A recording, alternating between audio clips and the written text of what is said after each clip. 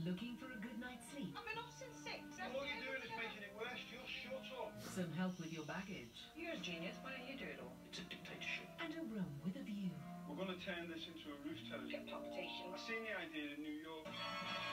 Alex, please. No, that's a surprise. Well, the hotel inspector is back to deliver a wake-up call Why did anyone say that? and get these hotel owners back on track. More like a house party.